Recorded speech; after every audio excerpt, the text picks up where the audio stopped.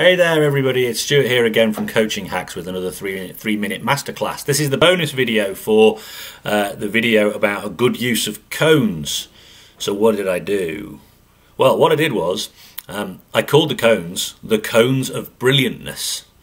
And each time one of the players did something that was particularly brilliant alongside our theme, I seem to remember that our theme on that particular day was to um, look at how they might be able to pass the ball across the field to create space.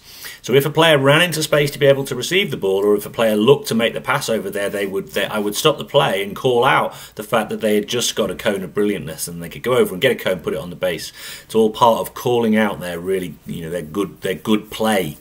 Um, so that's one of the ways I did it. Instead of using it as a pure countdown score, I actually turned them into like a mega reward.